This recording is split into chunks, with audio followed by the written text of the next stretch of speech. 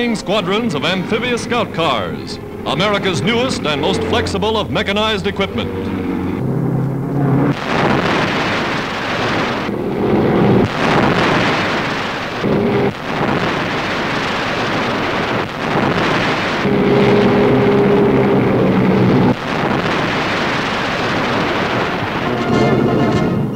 Capable of traveling by water as well as on land, these seagoing motor cars can hurl a striking force across streams and rivers at incredible speed.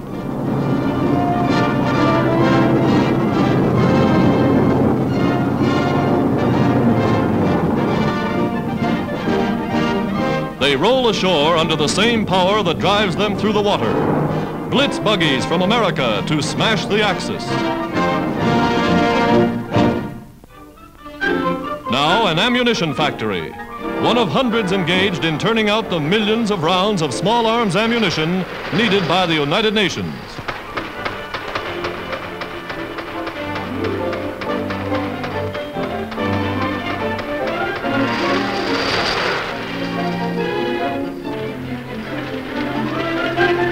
Plants working day and night. Ammunition for planes fitted onto machine gun belts and packed ready for instant use.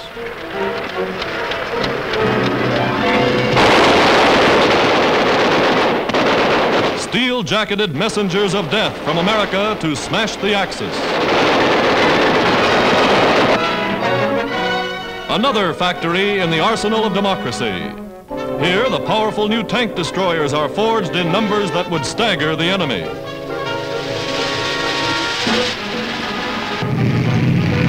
Rolling out to the testing ground. Faster than the tank, the M10, as the Army calls it, is capable of destroying the heaviest armored vehicles yet seen in the field.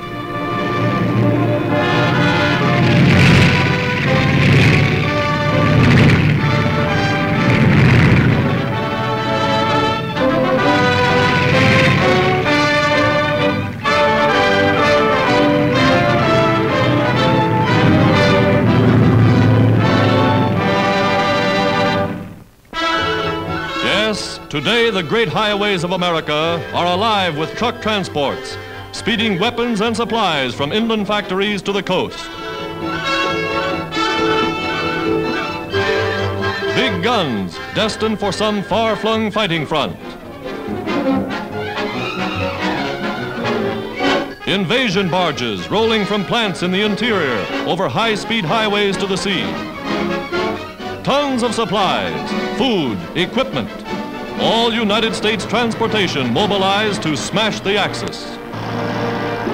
In the field, artillerymen test the powerful new 240 millimeter howitzers, some of the heaviest weapons in service.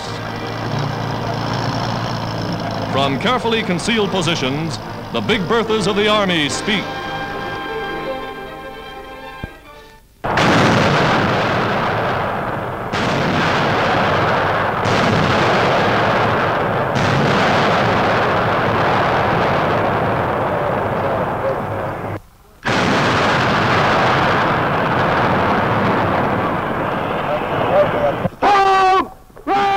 Weapons capable of hurling 300 pound projectiles many miles with amazing accuracy.